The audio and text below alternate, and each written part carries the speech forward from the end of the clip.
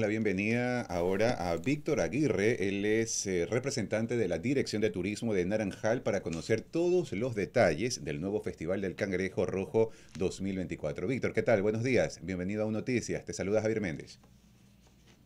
¿Cómo está Javier? Muy buenos días. Buenos días a toda la gente que nos está observando y felicitaciones a todos los guayaquileños hoy en este onomástico de fundación.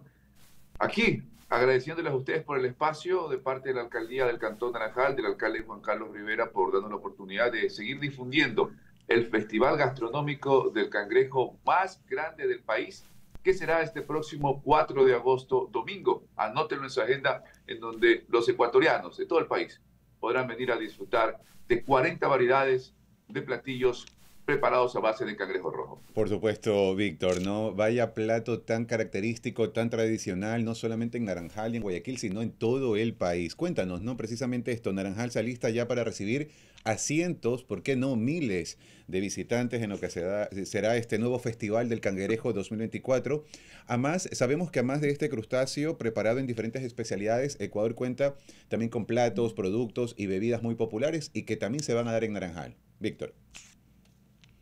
Claro que sí. Te, cuento que al 99% de los ecuatorianos les encanta el cangrejo. Y sobre todo el cangrejo naranjaleño. Yo estoy seguro que en el estudio, a todos los que están ahí, camarógrafos, operadores, switches, sonidistas, a ustedes, los presentadores, les encanta el cangrejo, no me equivoco, ¿verdad? Seguro, seguro, seguro.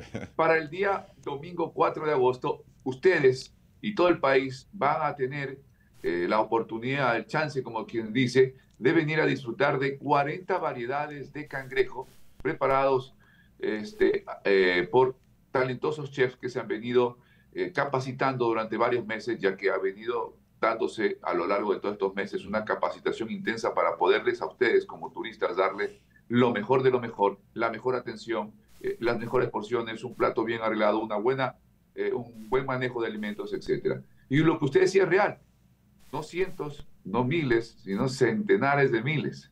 El año pasado rompimos récord, llegaron más de 100.000 turistas a Naranjal y esperamos que este año podamos volver a romper ese récord y tener aproximadamente 120.000 turistas que vienen de todos lados. Nosotros ya hemos hecho nuestra difusión en ciudades como Loja, Cuenca, eh, El Oro, hemos estado en El Cañar, hemos estado también haciendo difusión por Quito y Guayaquil. Eh, en todos lados hemos estado ya llevando nuestro festival para ofrecerle al país esta variedad gastronómica que sin duda le gusta a los ecuatorianos y que será un éxito este próximo 4 de agosto. Por eso no se lo pierda porque si no va a tener 365 días para arrepentirse de no haber venido al festival y probar todas estas delicias culinarias. Mi querido Víctor, eh, pero cuéntanos un poco, ¿no? También la ciudadanía en general, ¿no? Ecuatoriana e incluso extranjeros que también acuden a Naranjal en este festival.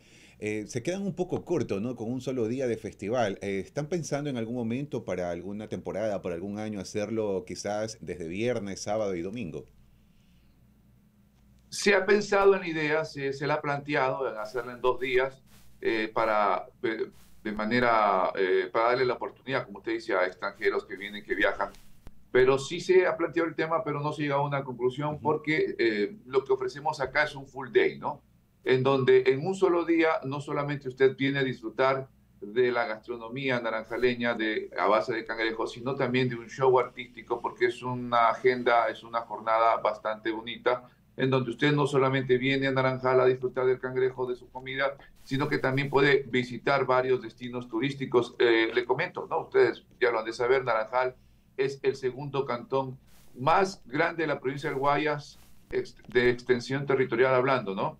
Entonces, como tiene mucho territorio, por ende tiene muchos destinos turísticos, entre ellos eh, el Mirador del Tigre, que es un bonito lugar para observar atardeceres increíbles, tiene aguas termales como la comunidad Shuara, Aguas Calientes, la comuna San Miguel, tiene eh, para hacer turismo aventuras el Cerro de Hayas, las Siete Cascadas, en fin, usted puede venir a Naranjal, hace turismo, come delicioso y todo esto lo puede hacer en un solo día. Eh, porque Naranjal tiene esas bondades. Aparte que también tenemos una importante infraestructura hotelera para que usted si quiere quedarse luego del festival lo pueda hacer o venir un día antes lo puede hacer, hace turismo, viene y obviamente ese día puede disfrutar junto a los chefs. Se ha planteado la idea, como usted dice, para ver si lo ampliamos a dos días, eso se, se está en discusión, pero por el momento, por la efectividad que ha tenido el festival, se lo ha dejado un solo día, es lo más recomendable que hemos tenido. En todo caso, Víctor, arranca a partir de las 8 de la mañana, ¿no? Lo dicho, domingo 4 de agosto del presidente 2024, y en qué, hasta qué horario se extenderá, y también cuéntanos un poco eh, este festival musical y los concursos, ¿qué, ¿qué va a traer también con este tema? Claro que sí, desde las 8 de la mañana, quienes ya vengan, porque hay quienes, hay quienes madrugan, ¿no?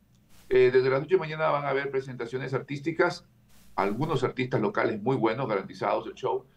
También van a haber artistas nacionales, estará cerrando el show Aguilar y su orquesta, imagínense, para bailar con música tropical. La animación de Jonathan Estrada y Sofía Caiche, que también van a ponerle animación, evidentemente, a la tarima.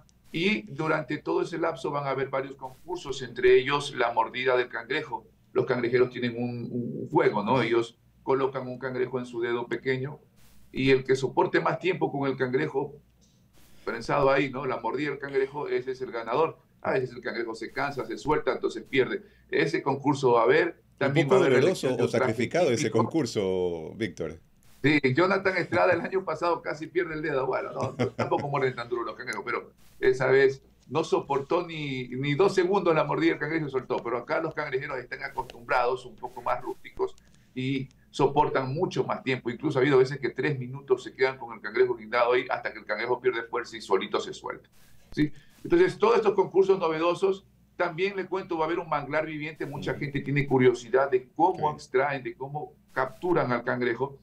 Pues ese día va a haber un manglar viviente donde la gente podrá ver a los cangrejeros con su indumentaria, demostrando cómo eh, sacan el cangrejo, como hacen los atados. Entonces, todo este atractivo turístico adicional, no solamente habrán stand de comida, que son 40, sino que también habrán más de 100 stand de emprendedores, porque también se le da espacio a un sinnúmero de negocios que quieren aprovechar la cantidad de gente que viene y por ende también ofrecen sus productos, artesanías, licores artesanales, cervezas artesanales, se encuentra de todo. O sea, usted va a ver un, un, un día muy muy bonito lo va a vivir porque es una... A ver, este año lo hemos ampliado al festival. El año pasado fueron ocho cuadras de puro sabor y diversión. Este año van a ser más, van a ser aproximadamente 12 cuadras. Desde que usted llega a Naranjal, a la Comisión de Tránsito, coge mano derecha por la Avenida del Medio, usted va a ver toda esa calle hasta llegar al mismísimo municipio lleno de emprendedores, de gastronomía, de turistas y de varios atractivos, entre ellos lo que les decía,